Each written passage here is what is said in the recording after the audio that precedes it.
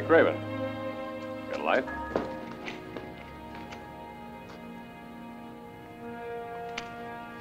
No duty tonight? No. Want to grab a beer? Sorry, not tonight, Johnny. Got something better? Got a date. See you in the morning, kid.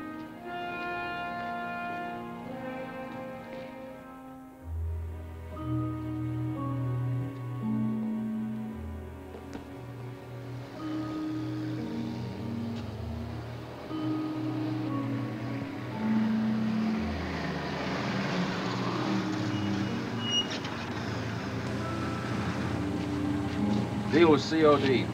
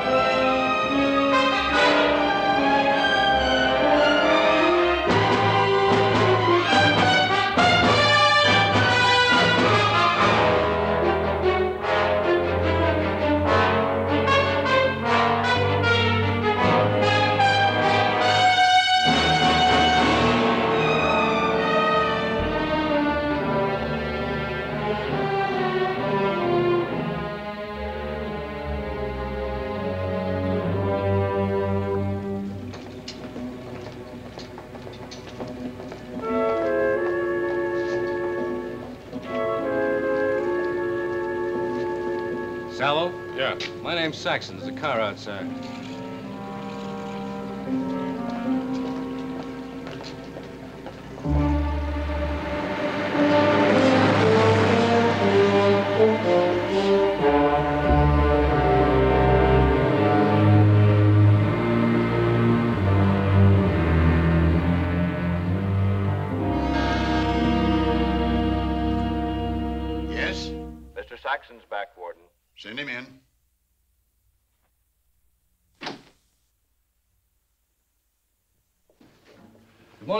Morning, Saxon. Hello, Johnny. Good to see you. How are you, Warden? Fine, thank you. Just fine.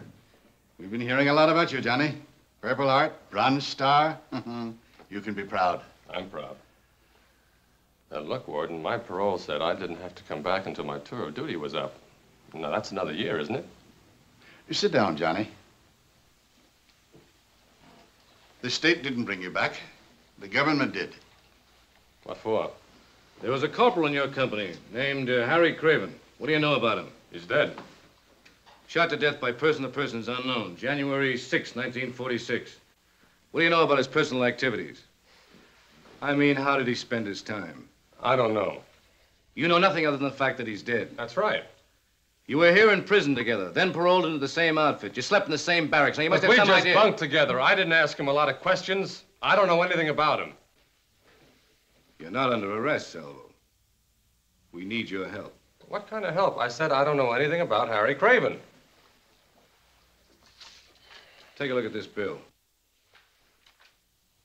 Now, what about it? It's the most perfectly reproduced counterfeit we've ever seen. Just a few short months after Craven's death, these bills started popping up all over Europe. What's that got to do with me? Harry Craven was formerly a counterfeiter. We feel sure that he's mixed up in this operation somewhere. We have an idea that you might help us find the others. You want me to be a treasury agent? You'll be a special employee of the Secret Service. Your army record cinches your parole, Johnny. But this is different. You've got a chance to wipe the books clean. No record, no past. If you cooperate, it means a full pardon. And most important, reinstated complete citizenship.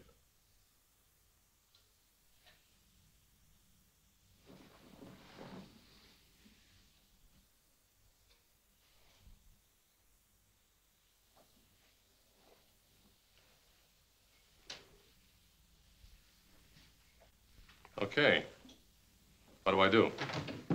Hello, Warden, Maury. Alec? Sorry I'm late. Okay, Mr. Conrad.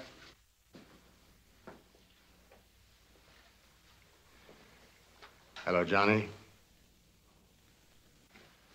You can forget the whole deal. I, uh, think I can fill in the details. We'll wait for you outside, Alec.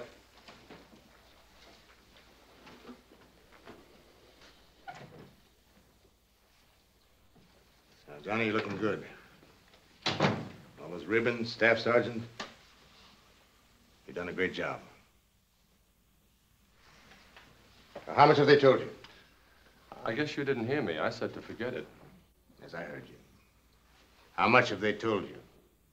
Is this your case? I'm the agent in charge, yes. Well, then I wouldn't want anything to do with it. You're turning us down? No. No, I'm turning you down. Come on, Johnny. Does the way you feel about me make it worth going through your life with ex-con marked all over you? And what are you so concerned about now? I was always concerned about Are you kidding? What did I ever ask from you? Did I ever want anything from you except a little help once when I was in trouble? But that was too much for a kid to ask from his old man, wasn't it? You're my own father when you put me here, didn't What you? kind of help do you expect? You get drunk, smash an old lady to pieces with your hot rod, and then start running? It's only a matter of time. Yeah, I forgot. You're a cop. You'd rather help them, wouldn't you? Johnny, take the deal. Clear your name. What do you care about my name? It isn't even your name anymore. My name is John Salvo, not John Conrad. It's my mother's name. You remember her? All right, make her proud of it. Clean it up. Then you can go live like a man, where you want to and how you want to. All you have to do is stomach me for a while.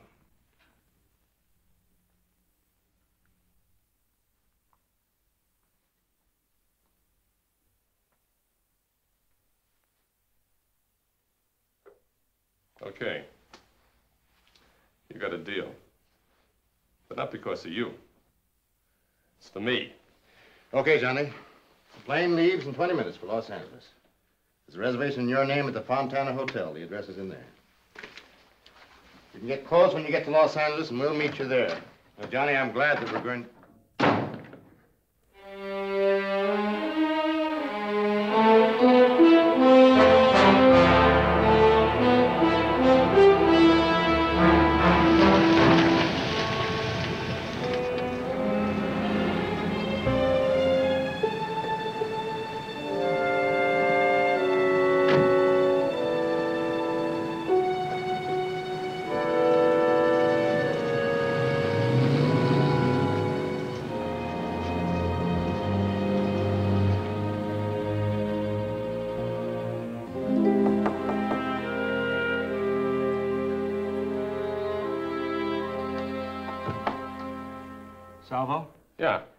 Schwartz, Secret Service. Come on in. How are you?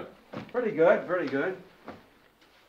I'm sorry I wasn't at the plane. I got tied up. That's okay. Have a nice trip? Not bad. I fly only when I have to. I figure what's a hurry? You ready? What for? Go downtown. I'm your escort. Oh, where are we going? The office. Got a briefing. Staff, huh? Purple Heart. I got one, too. Oh, yeah? Yeah, Bougainville. A buddy of mine shot a sniper out of a tree, landed on top of me. His gun went off and hit me in the ankle. They gave me the Purple Heart. Why not? I'm entitled. It hurt just as much. That's tough. What tough? They sent me home. You eat yet? yeah? Mint? Oh, no, thanks. I don't know. In the Marine Corps, I ate anything. Nothing bothered me. Since I came home, everything sits like a hot rock. Listen, what's this briefing all about? Come on. We'll find out when we get there. Won't talk, huh? Like a clam.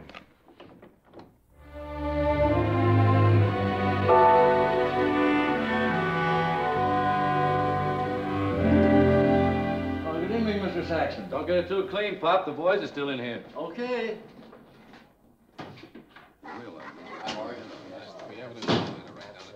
Maury? Jim?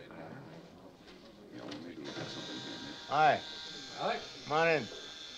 Be right with you. Boys all ready? Well, they seem to be.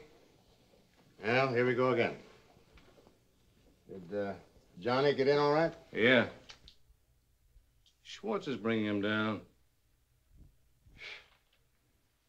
You don't think much of this whole idea, do you? Huh, what do you mean? Talking about Johnny. Following up on Craven. It's an important lead. This case is your baby, Alec. You've been trying to bust it for a long time. You decide what's important, not me. Yeah, it has been a long time. A lot of years. Following leads, checking numbers, feeling paper. You forget there's anything else, that you got a home or a family. You can't help it, you just forget. Maybe that's why I'm still eating off a hot plate. And one day you come home, your wife's a stranger. Your kid is just a big pair of eyes, staring at you with questions you don't know how to answer. And you find you're all alone. Not even sure of how it happened. Then you get used to it. And that's the hardest part when you get used to it. Yeah. He was a tough kid. His mother couldn't handle him, got into a lot of trouble. He's come a long way. He'll be a big help to us. Okay, Alec. All right. Let's go. Right in there. Okay.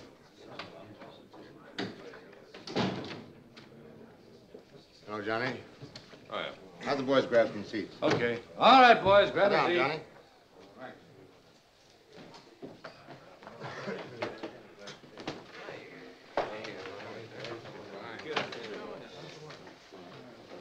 All right, boys, let's get settled. All right, gentlemen. This is it. This is what we're looking for. Now, this $20 note has had quite a history.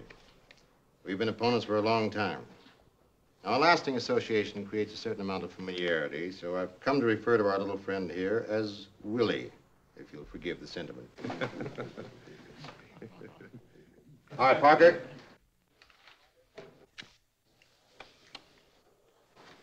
This gentleman is Willie's birth certificate.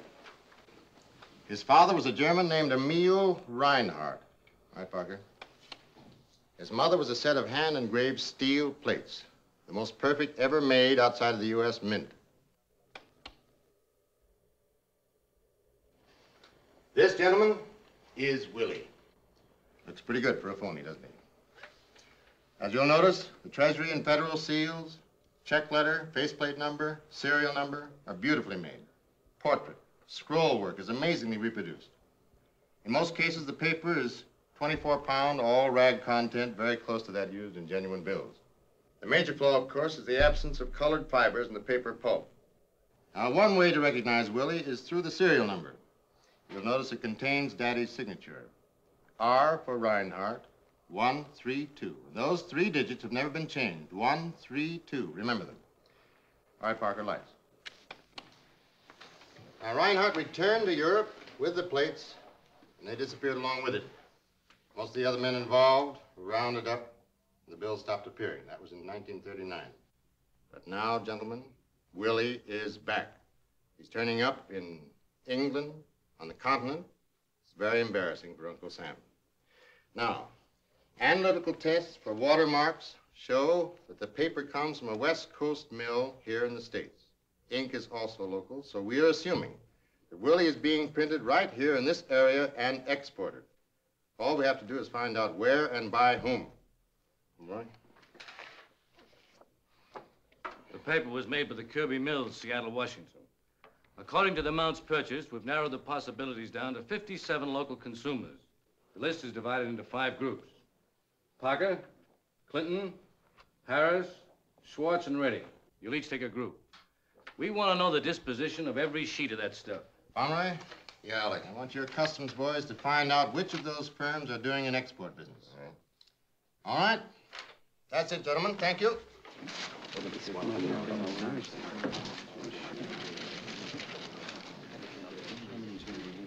Well, they're off and running. Yeah. Why don't you go home and get some rest? Okay, think I will. Good night. Night.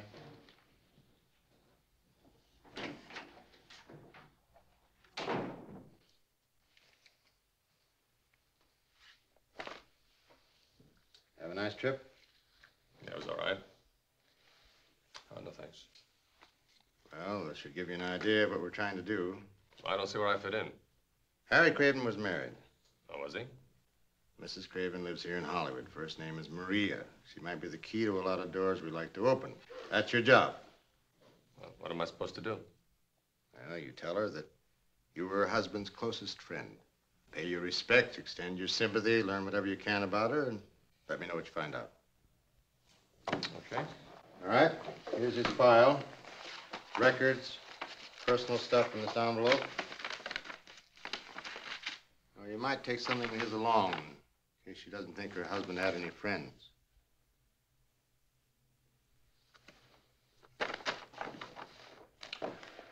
Anything else? Yeah? Watch yourself.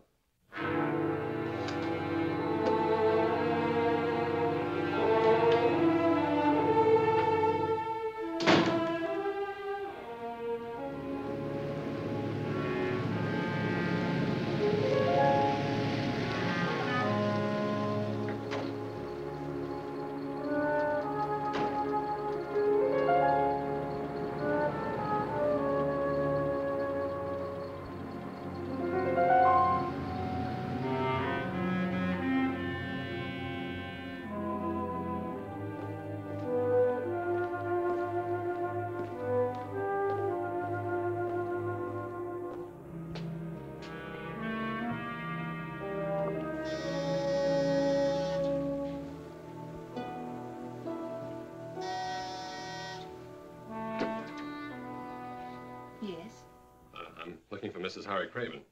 I'm Mrs. Craven. I was a friend of Harry's. Oh, please won't you come in? Thank you.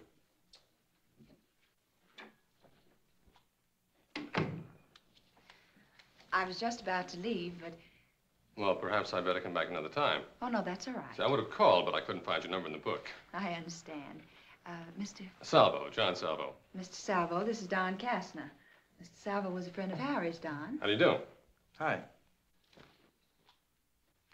Mr. Kastner's a family friend.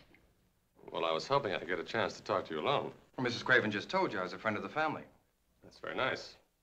Well, maybe another time. Was it anything important? It might be.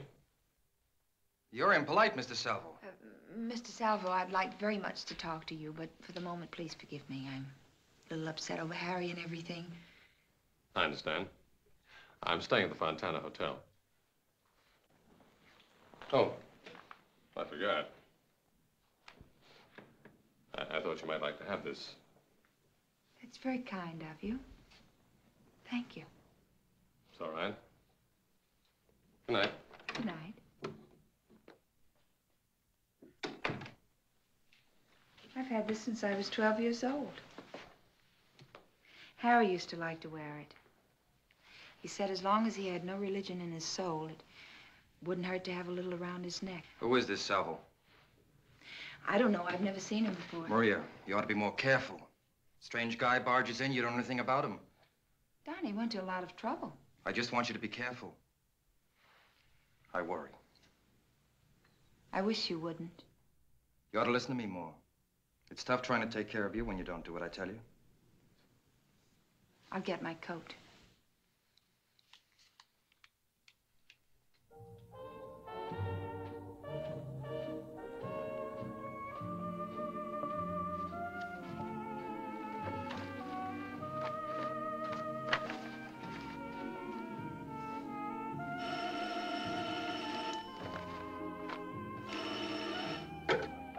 Yeah? Oh, hello, Mrs. Craven. No, you didn't wake me. Well, certainly I can meet you now. Just give me a few minutes. Goodbye.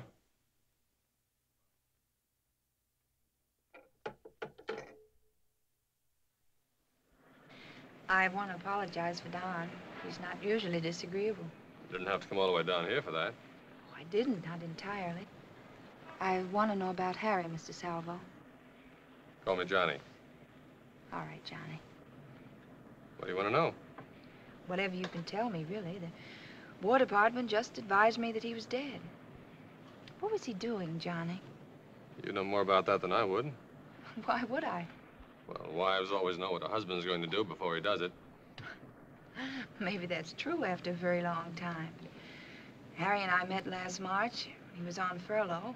Got married in May before he went overseas. By January, I, I was a widow. Were you and Harry close? Two cells apart. Oh, Yeah, we wound up paroled into the same outfit. I didn't know that.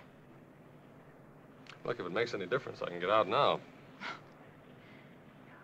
Let's both get out.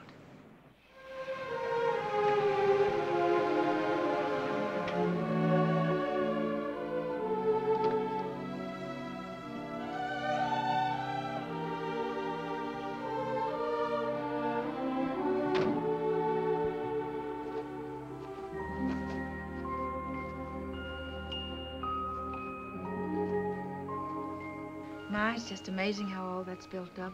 You know, I used to play down there when I was a kid. It was a big empty lot. I was quite a tomboy. You could have fooled me.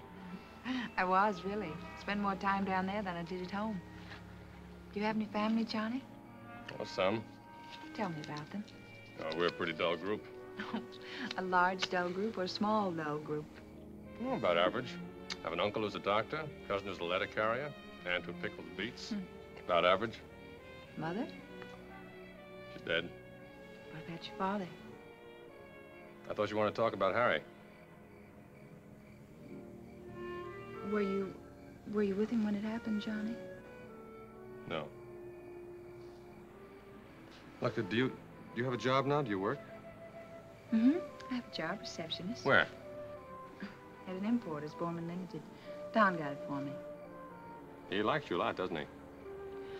Well, he was Harry's friend, and when I got the wire from the War Department, he was sympathetic and understanding, and I was very grateful.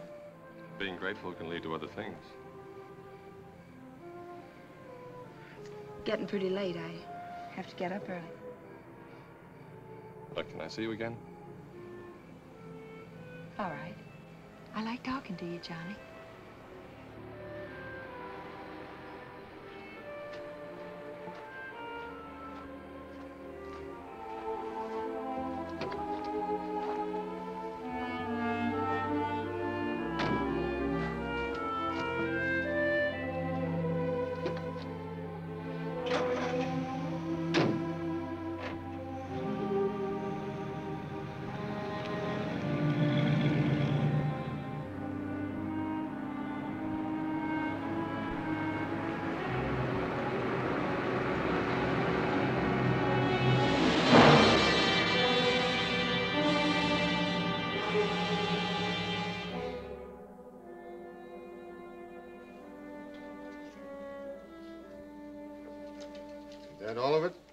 The lot, $2,500. What's the story? Oh. Oh, come in, Johnny. This is Bill McCready from Immigration, and he's working with us. Special employee John Salvo. How do you do? Hi. Sit down, Johnny. Go on, McCready. Well, their name is Polensky. They arrived in New York nine days ago on the Queen Elizabeth, and they live with a relative here in Los Angeles. And at 10.43 a.m., they made a deposit at the uh, Mercantile Bank. The teller spotted the bills were counterfeit and called us. So I picked him up and brought him here. All right, ask him to come in.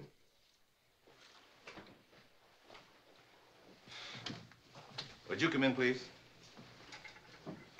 Mr. and Miss Polensky, this is Mr. Conrad. How do you do? Won't you sit down, please? Now, uh, don't be frightened, Mr. Polensky. Have you broken some law? No. Must we go back? No, of course not. We just want to find out where you got these bills. London. But where in London? Can you be more specific? It was not far from our house. We were given rooms by the Intergovernment Committee. Check with the ICEM in London. Find out where these people stayed before they sailed. Okay. Do you remember who it was that gave you the money? He was a stranger who, who wanted to help us. He was a nice man. Yeah. Did You ever hear a man named Reinhardt? Emil Reinhardt? No, I don't know him. Well, I'm afraid you've lost $2,500. Lost? You mean my money is no good? I'm afraid not. The so-called American money that was given you is counterfeit.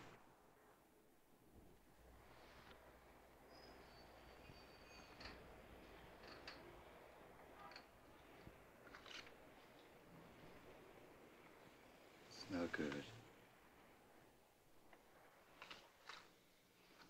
We go now? Yes, of course.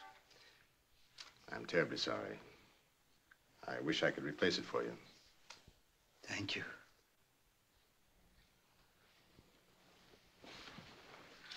I'm sorry we gave you trouble.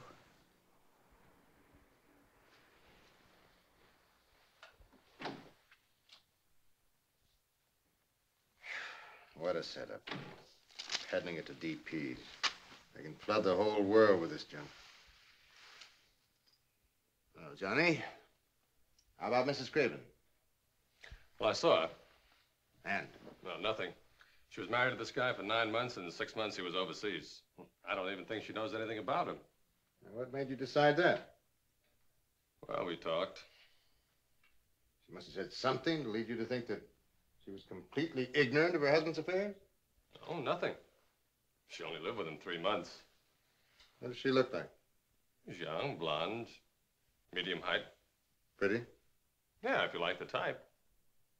Look, what are you pushing for? I said I don't think she knows anything. What does she do? Well, she works downtown as a receptionist for an importer's firm. She live alone? Yeah. She alone at the time? No, there was a fellow there named Kastner, uh, Don Kastner. Yeah, what does he do? I don't know what he does. Look, I'm not a cop. I just did the best I could. Take it easy, Johnny. I didn't expect you to get everything the first shot. I was only asking. All right, okay. Know, it'll be better when we talk. You have to sooner or later. Let's just forget about it, huh? There's a lot I wanted to say to you. You came to the prison three times. Why wouldn't you see me? What difference does that make now? Makes all the difference now.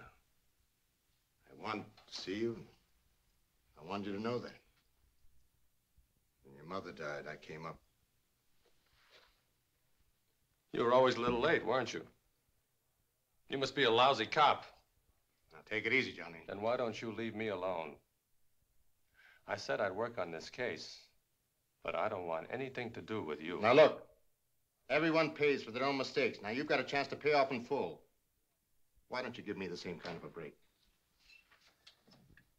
I, uh, bust something up? No, no. Come in, Maury. Come in. What have you got?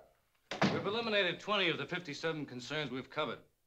The remaining uh, 37 firms that have bought 24-pound rag in appreciable amounts, we've divided into two major groups. There's 14 retail paper goods and stationery firms, and 23 private business concerns that print their own stationery.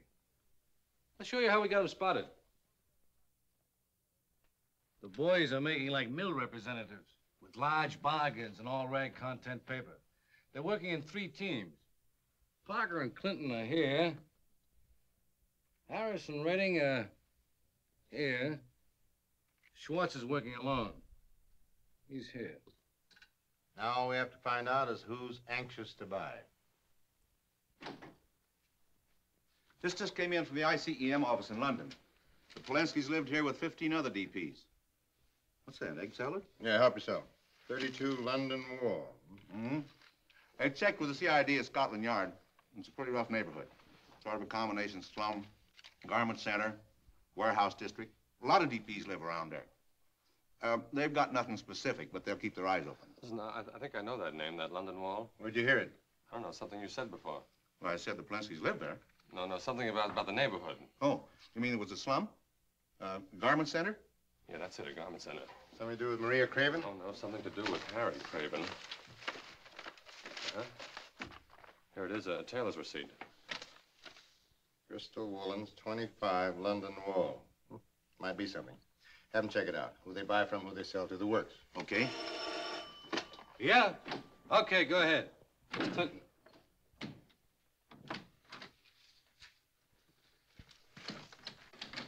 Oh, Johnny.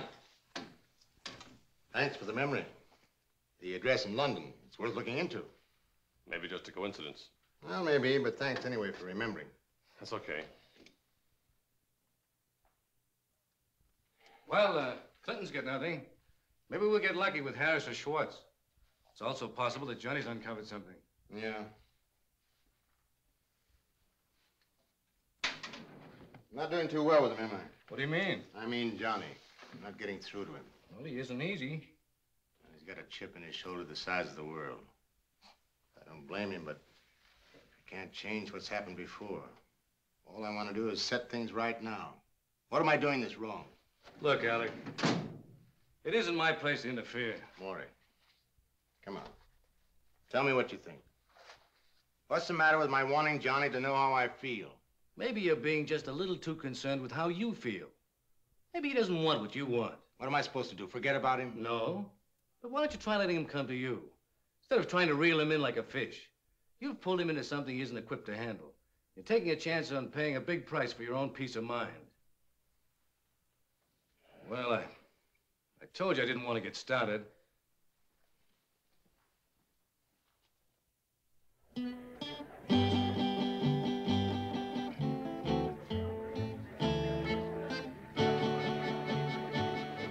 Maria querida.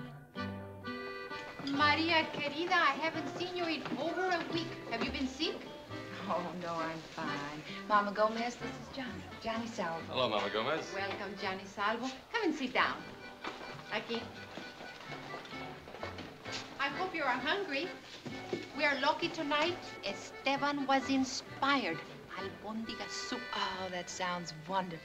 I'll tell you what, we'll leave it up to him. That's all right with you. Three cheers for Esteban. Good. I'll get you some wine. You sit, eat, relax, and we'll talk later. Okay? Okay. Okay? Okay. Okay. You come here often? Since I was a little girl. In fact, this is where Harry and I first met. Mama's husband introduced us. Oh, Esteban? Mm-mm. Esteban's a chef. Her husband's over there at the bar. That's Papa Gomez? No. No, Papa Gomez died before the war. That's Milo. Mama married him two years ago. Uh-oh, here he comes. Maria, lovely flower, how are you? Fine, Milo. With your permission. Ah, it's always good to see you, Maria. I don't believe I've met your friend. This is Johnny Salvo. How do you do? I'm Papa Gomez, new regime. Congratulations. Thank you. Have you ordered dinner yet? Oh, yes, Mama ordered for us. Ah, of course, Mama. Wonderful woman. Doesn't drink, smoke, or swear. Wonderful woman. What sort of business are you in, Mr. Salvo? Oh, a little bit of everything. Jack of all trades, huh? Man after my own heart. Do nothing well, but do a little bit of everything. That way no one makes demands on you and you're welcome in all company. Excuse me. It's not the food, it's the wine. So he drinks it all, then no one else will have to suffer. Did you ever see such a sense of humor? Uh, it is impossible for a man to fail with such a woman at his side. I'll bring your wine out to the patio. It's cooler. Oh, that'll be fine, Mama. Excuse us, please. It was nice to have met you. How many times have I told you to stay away from the customers?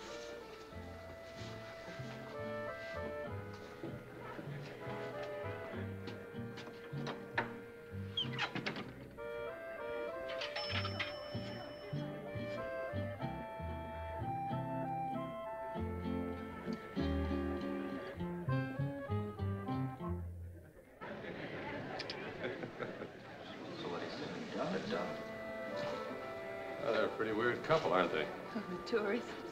No, Mama and Milo. Oh. I wonder how that ever happened. I don't know. People just sort of come along. I know Mama was pretty lonesome when Papa Gomez died. I suppose everyone needs someone or something to love and hold on to. Well, how about holding on to me for a while? All right.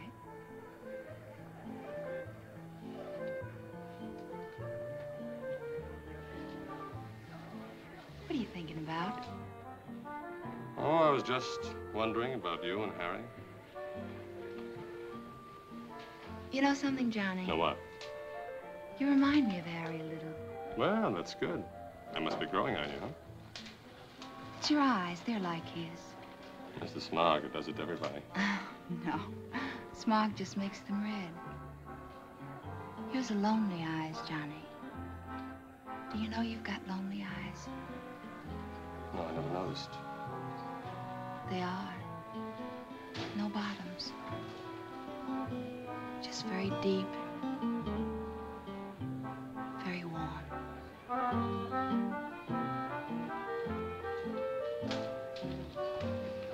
Your dinner is getting cold.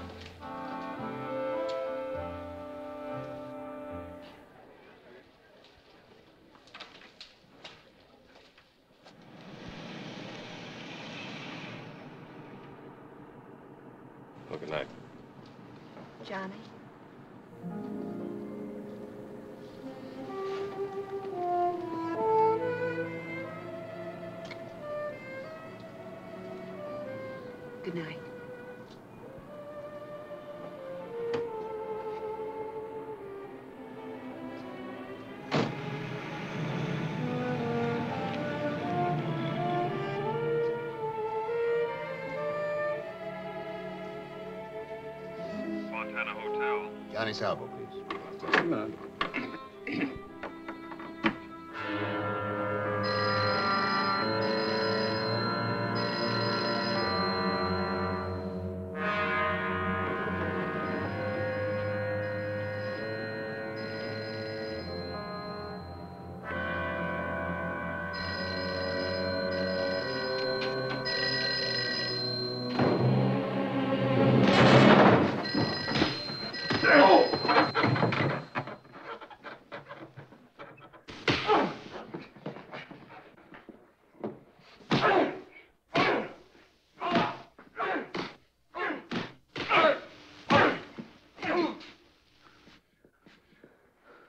Beat it, lover boy. Just go away. Far, far away.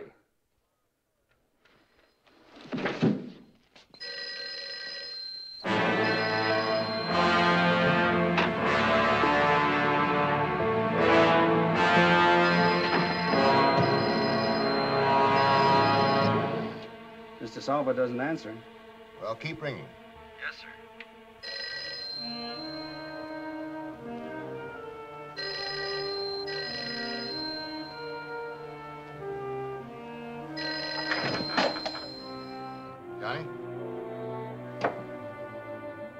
Johnny!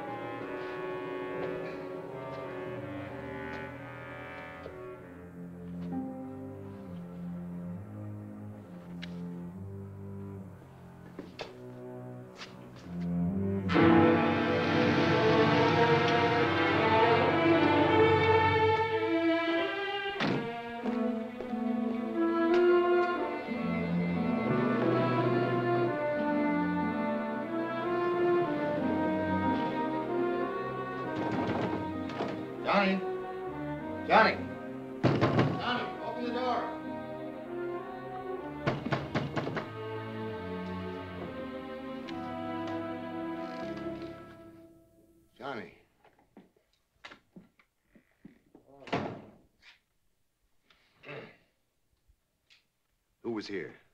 All about eight guys with steam shovels. Oh, Don't clown. Tell me. That's what it felt like.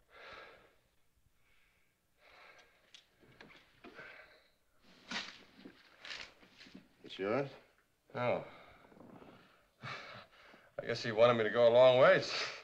Who wanted what? What are you talking about? It's a personal beef. It's nothing to do with you. Look, Johnny, I want to know everything that happened. Waiting for me when I came home. Who? Who was waiting? Don Kastner. He's got his hooks into Maria Craven. He doesn't want anyone else hanging around her. I'll call a doctor. I don't need a doctor. I'm all right. How much does Kastner know about you? Nothing. How can you be sure? I'm alive, aren't I? Maybe you're just lucky. Look, this was your idea, not mine. Remember that. Well, you want to quit? No, I don't want to quit. Live like a man, you said, huh? All right. You just stick to your end of the bargain. I'll take care of mine. You're sure there's nothing I can do for you? Not a thing. Look, Johnny, I didn't want you to get hurt. I wanted to see you again and try and make up for things, but I didn't want you to get hurt. Good night, Johnny.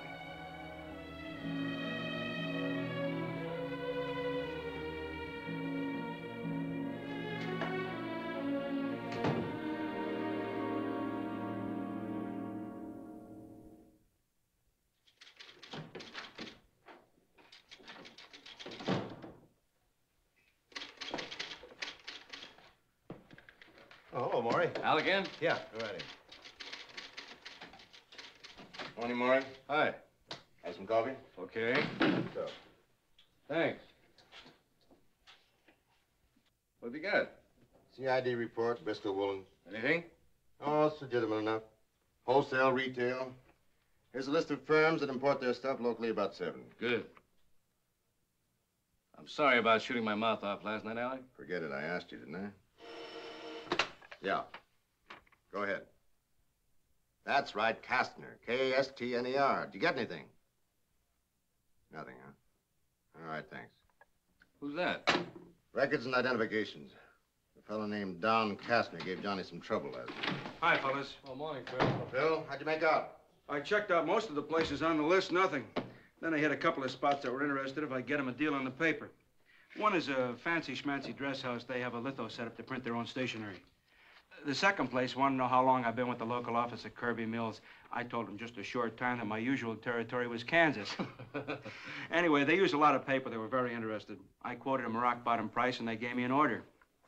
What a commission. Well, it could be something. What kind of a place? Woolens. What's the name? Uh, Philip Borman Limited. It's here.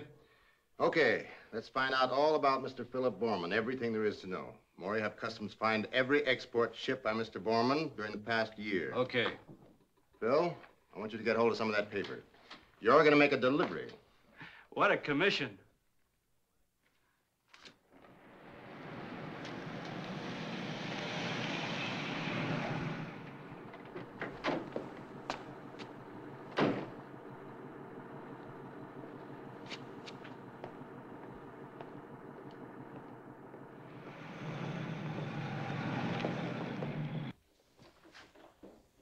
Good morning, Don. Good morning. I called you last night. I went out for a while. I called you at one in the morning. I didn't realize it was that late. I just went to a movie.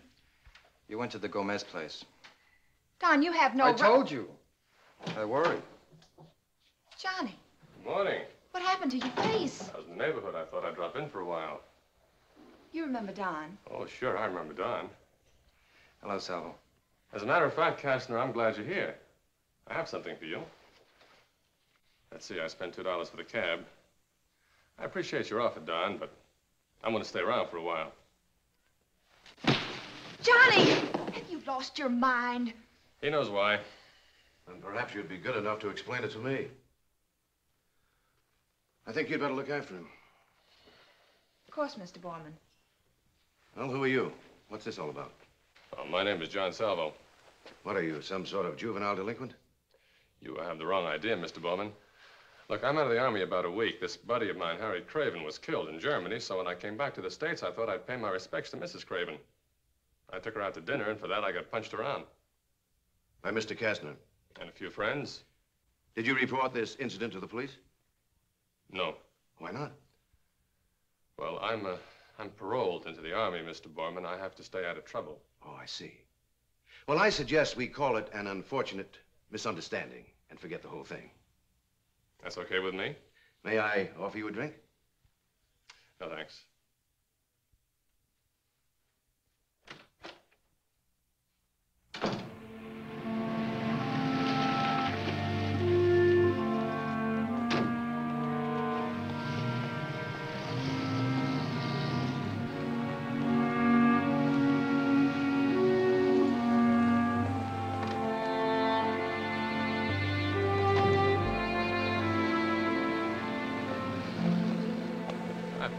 Buddy? Turn around. You're being tailed, Johnny boy. Average height, light complected, dark suit, light build. Don't do that. Be careful, don't go upstairs. Thanks, fella.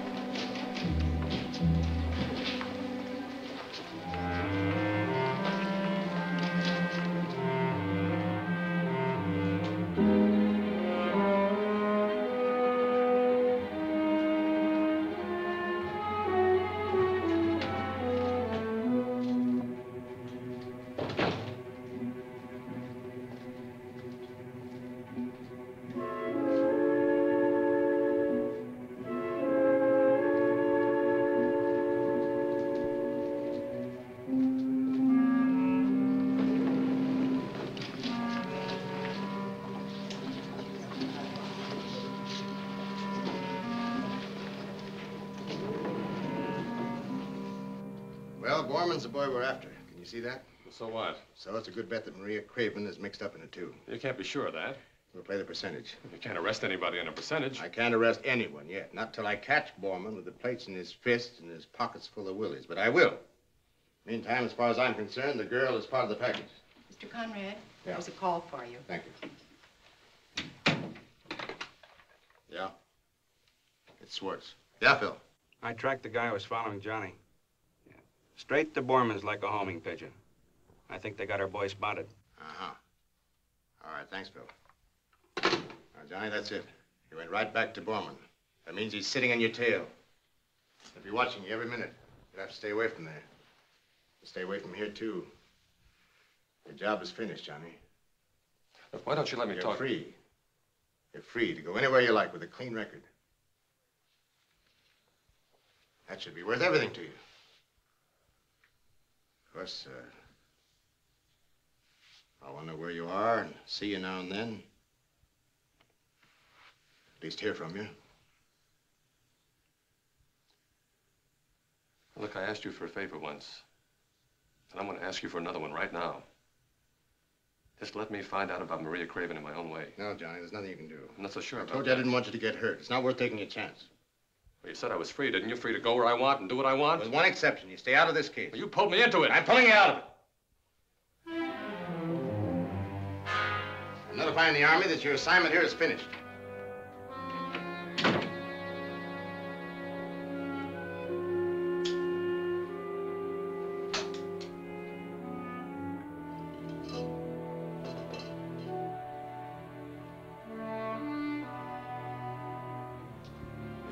Saw him go into the federal probation office?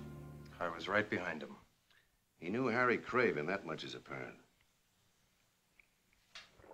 I wonder how much he knew. Yes? Cable just came, Mr. Borman. Oh, thank you. Make it dry.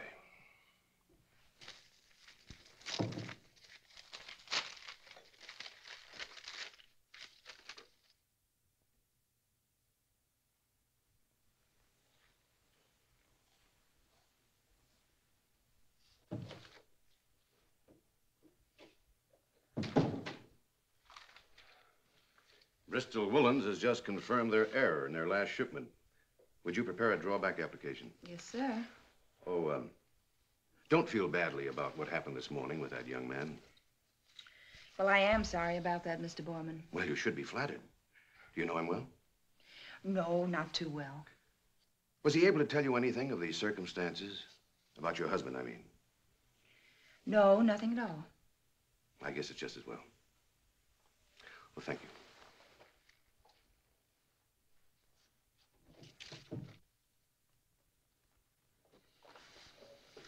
Well, the way I got it figured, the truck will deliver the paper to Borman in the morning, and I'll just sit it out. When they move the paper, I'll be right behind them. Good enough.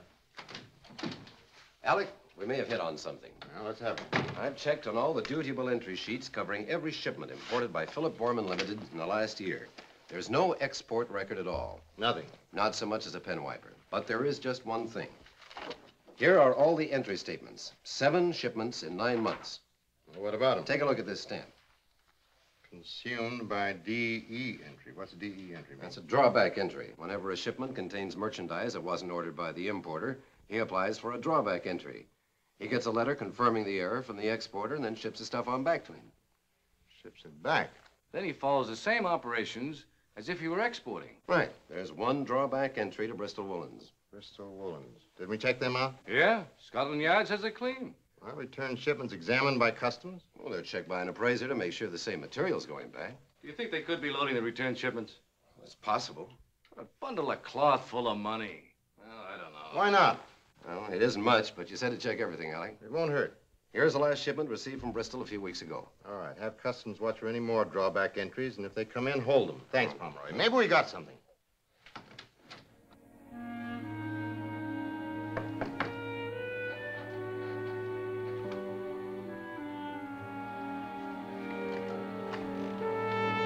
Staff Sergeant John Salvo? That's right. Reassignment orders. Where are they going to reassign me? I at the Department of Army, buddy. I just deliver messages. Good luck. Thanks.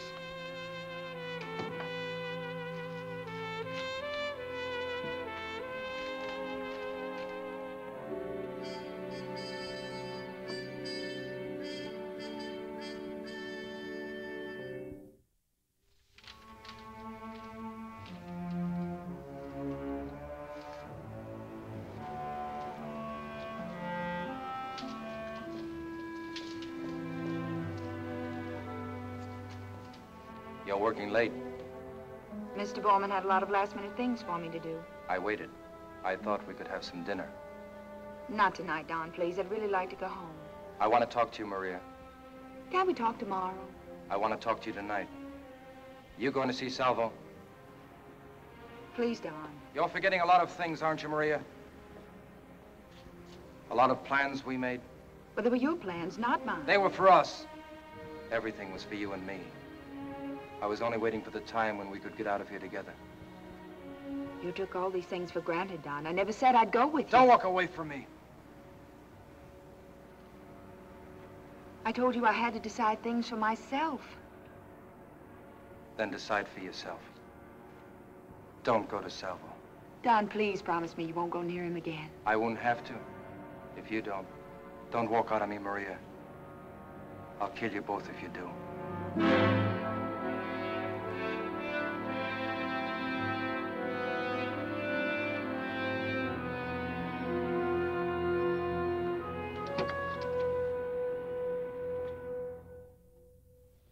Seemed almost insane. I, I was afraid to go home. Johnny, I'm really afraid of him. What can I do? Why is he getting so panicky all of a sudden? I don't know. Are you sure? Why should I know?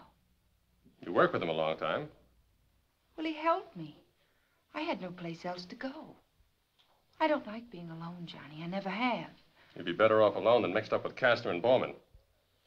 What has Mr. Borman got to do with it? Look, Maria, are you being honest with me? Johnny, I swear to you, I don't know what you're talking about. What am I supposed to tell you? Everything you know about Borman and Kastner and a sweet little counterfeiting setup that's spreading phony money all over Europe. Your husband, Harry, was part of it. He was killed, I think, because he knew too much. Johnny, who are you? I, I never lied to you, Maria. I was in the army with Harry. I just never told you that I'm still in the army, that's all. I don't understand all this, Johnny. How do you know all these things? Who told you? The Treasury Department thinks you're mixed up in this. I knew Harry, so they brought me back here to find out about you. I see. And you think I'm part of this... this sweet little setup? I just had a feeling Harry's death was no accident, but I certainly never dreamed it was anything like this. I didn't, Johnny. And I never lied to you either. I never lied to you once. Look, this wasn't my idea. I didn't want any part of it. I served my term. I just wanted to forget about the past. They brought me into it. They said if I'd help them, they'd fix it so no one would ever know I was in prison.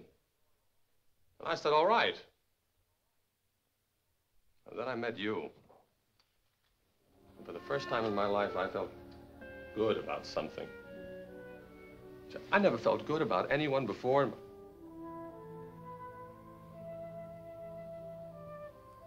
That's why I had to know the truth. Don't you understand, Johnny? I've told you everything. There's nothing else to tell. But you can't believe that, can you?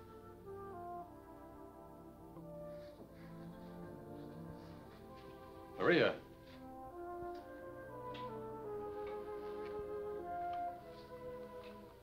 Maria, I believe you. Look, I'm, I'm going away tomorrow night. Uh, I'm being reassigned. Where will you be going? I don't know. Someplace in Europe. It's an awfully long way. Would you come with me? Why, Johnny? Because I love you, Maria. Oh, Johnny.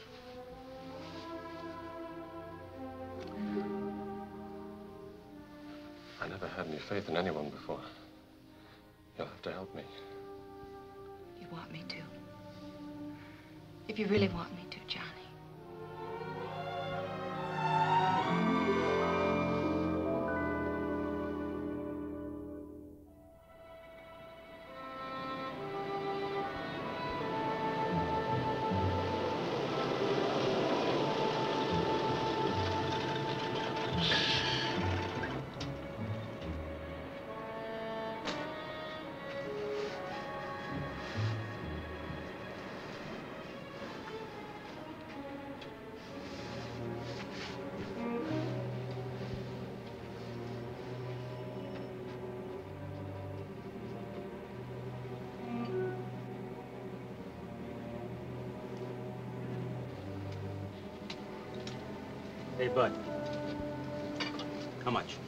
A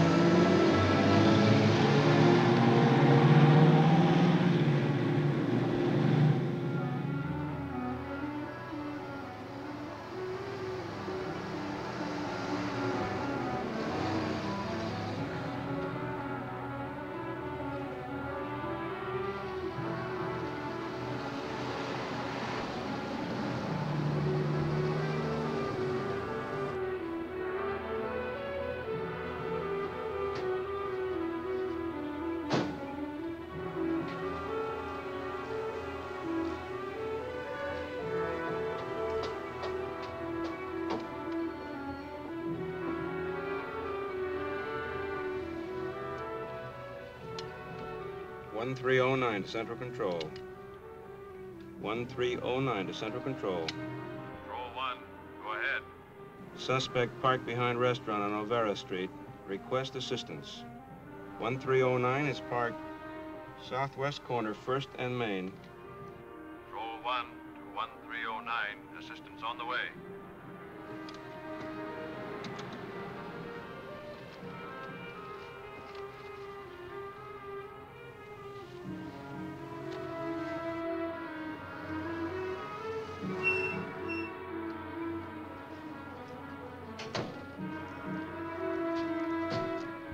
Hi, Phil.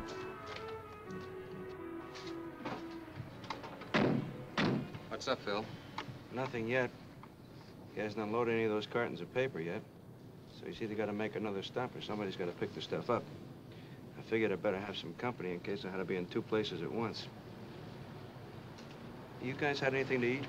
Yeah, you called us in the middle of lunch. I'm starved. Why don't you eat? Can't. My stomach's on the bum. Take one of your pills. Not supposed to until after I eat. Oh. Condition red, fellas. Could be a customer.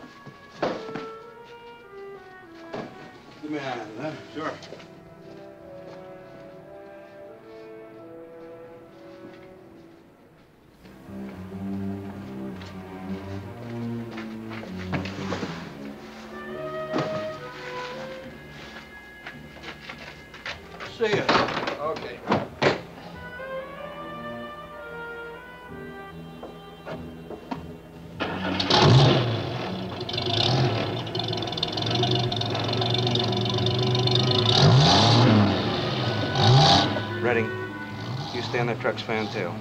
Harris, you stay here. I want to get a look at what's inside those boxes. I'm on my way.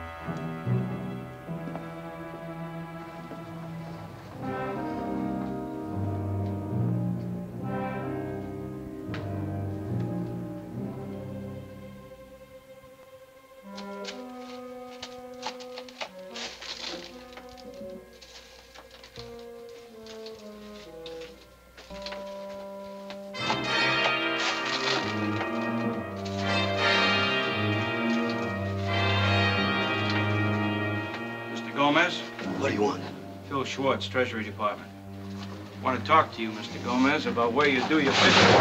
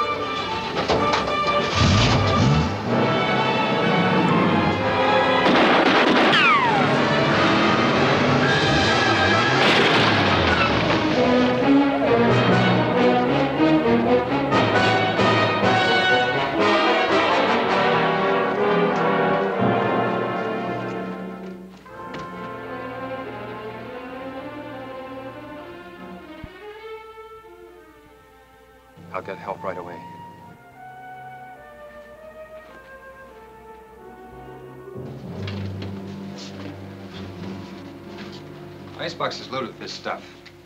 Pretty neat. Pack it nice with shrimp, ship it from the border. That's really all right. How's Phil? Lucky. He's going to be okay. He just got a buzz from Central Control. Redding's about 10 miles south of Laguna Beach. That truck's really rolling. The highway patrol will pick him up in San Diego and go on to Chula Vista with him. Okay, good. Harris, you stay here and take care of this stuff, and come on, let's pick up one.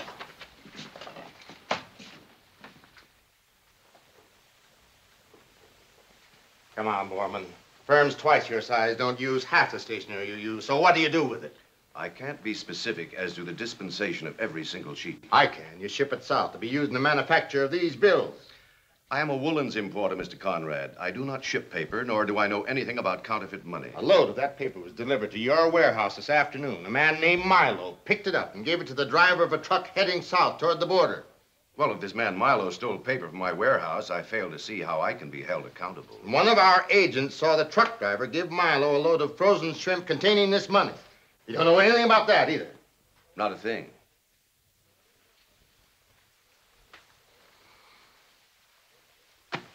That agent was almost killed this afternoon, Mr. Borman. And I'm going to hang it on you.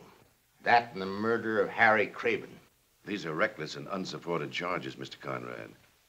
I'd be careful if I were you. I've been careful, Borman. I've been careful for 15 years to catch the louse behind this operation. And nothing's going to give me greater pleasure than what you choked to death in the gas chamber.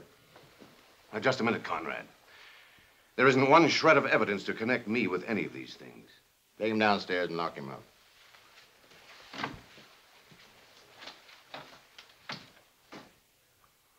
I hate to say it, Alec. I don't think we can hold him. Every indication points toward Borman as the head man. Indications aren't enough. You know that as well as I do.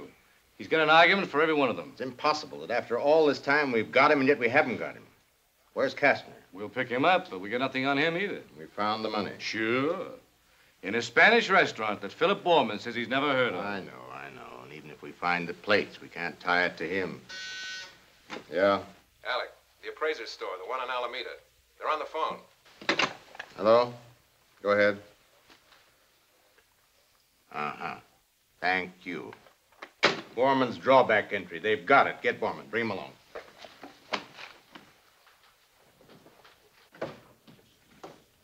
The entry sheet lists 22 bolts altogether.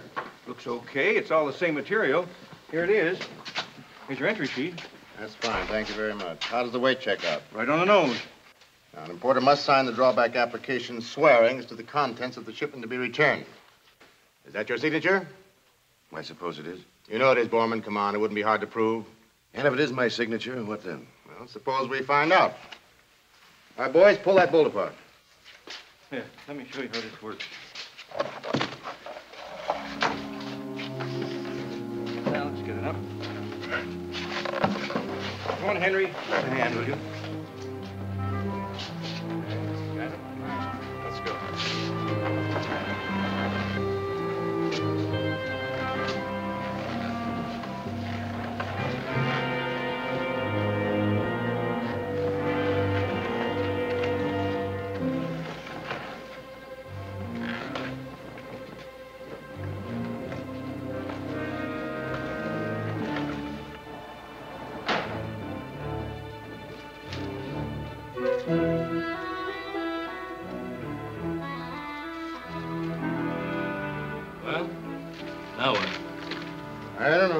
Something's funny.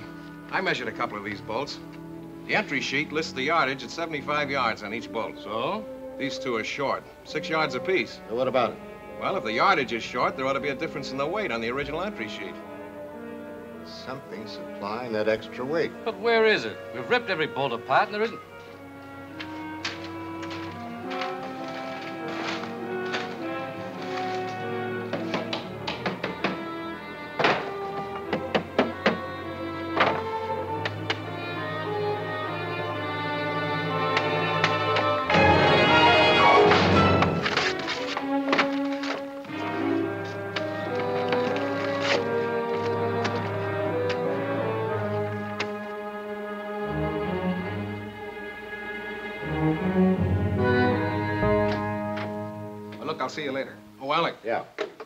Been calling from Chula Vista. Well, it's all over. They've got everything. Press, plates, the works.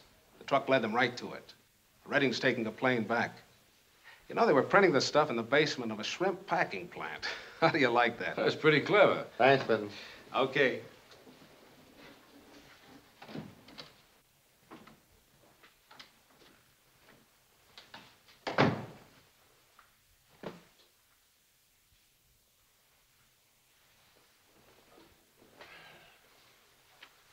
Boys did a good job. Yeah? Wonder how Schwartz is. I figured I'd take a run over to the hospital. Good, good. Tell him I'll be over later. I better stick around here until everything's cleaned up.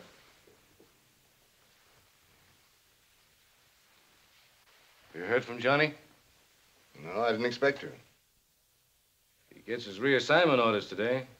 Yeah, I know. You gonna see him before he leaves? No, You should after sticking your neck out to bring him back here. I only brought him here to work on this case. You say so. Oh, there's an all points out on Kastner.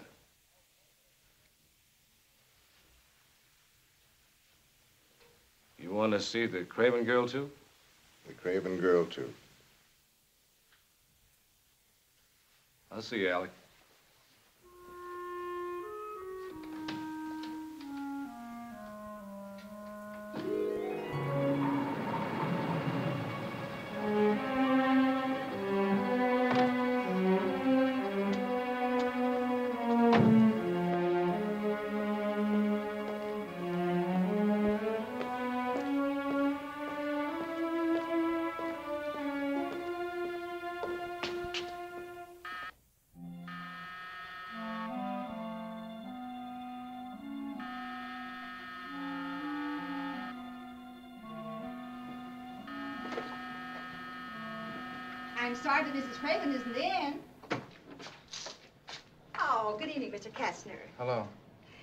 Craven's gone.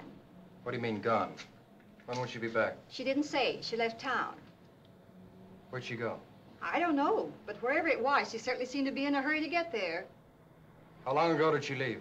Oh, I should judge not more than an hour ago. You're welcome.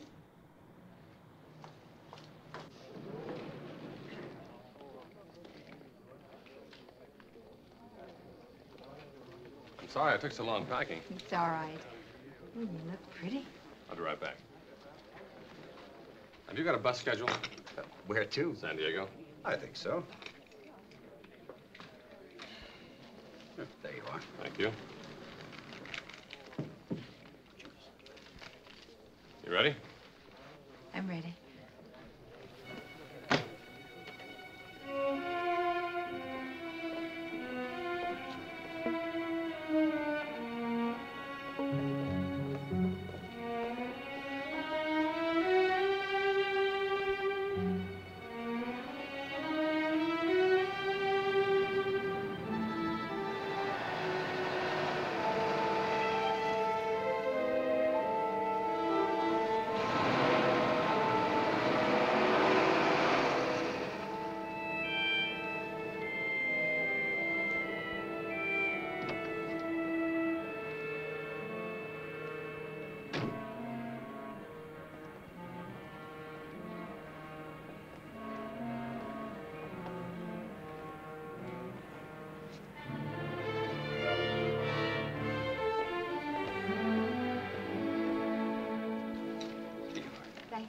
John Salvo, please. Uh, John, Sa- oh, I'm sorry, sir. Mr. Salvo's checked out. Oh. Well, thanks anyway. Uh, you may still be able to catch him, though. Catch him where? They went down to the bus station, going to San Diego, I think. They. Was someone with him? A young lady. They left about five minutes ago. The bus station is right down the street. All right. Thanks.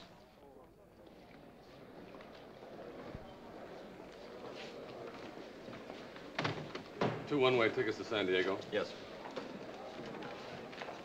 516. Okay.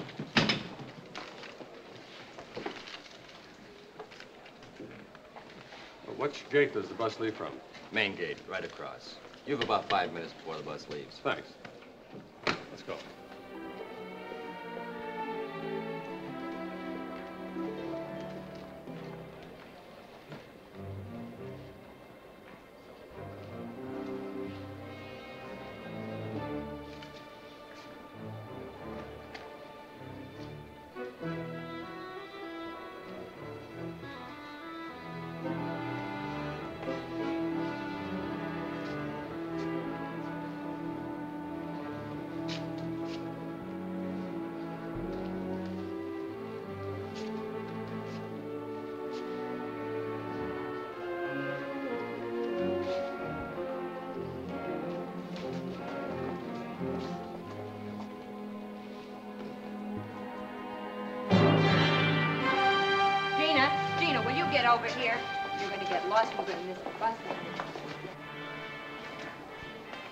Can I help you, sir? No. Bus now leaving for San Diego at the main gate and point south. Wait a minute.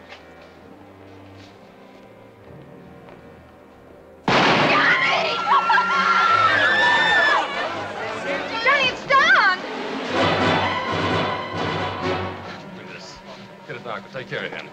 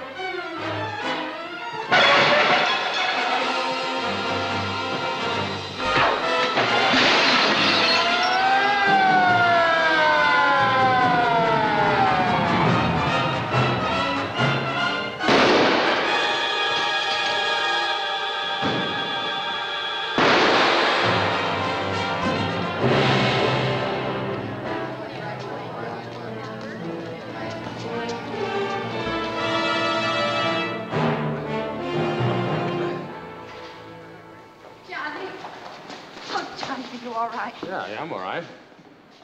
Okay, Johnny? Yeah. Yeah, how about you? Oh, nothing serious. Maria, this is my father. I know, John. I told her. Hope you don't mind. Well, you two ready? What for? We have a little business with Mrs. Craven. Well, look, I told you, you're making a mistake. No, Johnny, it's all right, please. It isn't all right. You can both come to the office. She'll answer a few questions. Then she'll be released officially. Johnny, we caught Emil Reinhardt with the plates in Chula Vista. Thanks for everything. Now, what are you looking so worried about? You've got seven days, haven't you? The buses leave every three hours, don't they? Come on. Father seems like such a nice man, Johnny. Yeah. Yeah, you might be right.